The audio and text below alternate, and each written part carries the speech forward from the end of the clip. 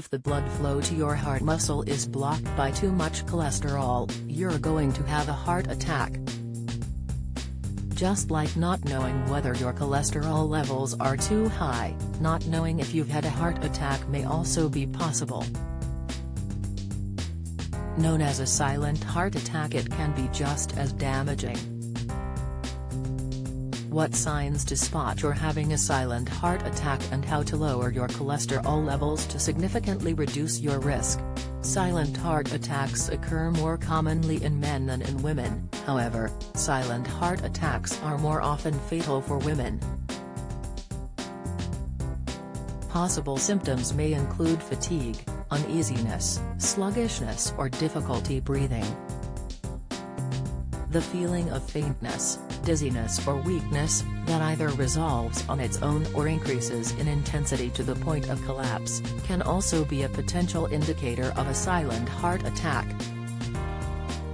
Dr. Jorge Plutzky at Harvard-affiliated Brigham and Women's Hospital said, people may feel fatigue or physical discomfort and chalk it up to overwork, poor sleep or some general age-related ache or pain. Other typical symptoms like mild pain in the throat or chest can be confused with gastric reflux and heartburn. Silent heart attacks often leave scarring and damage to the heart, which, combined with the fact that many people who have a silent heart attack don't seek immediate care, can further raise a person's risk of a second and potentially more harmful heart attack. Knowing the signs of a silent heart attack is no good if you ignore them should they happen to you. Any of these four warning signs should be overseen by a medical professional as soon as possible, chest fullness or discomfort discomfort in other areas of your body difficulty breathing and dizziness nausea and cold sweats lower cholesterol levels to reduce risk fat lodged in the arteries is a disaster waiting to happen sadly.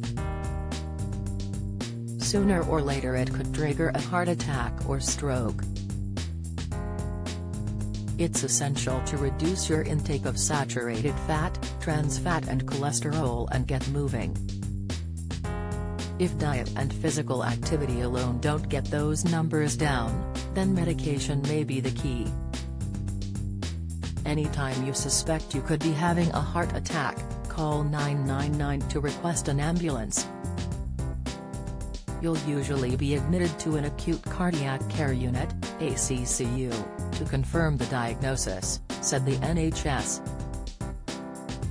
An electrocardiogram should be performed within 10 minutes of being admitted to hospital. If it's confirmed you've had a heart attack, depending on the severity of the damage, surgery may be a treatment option.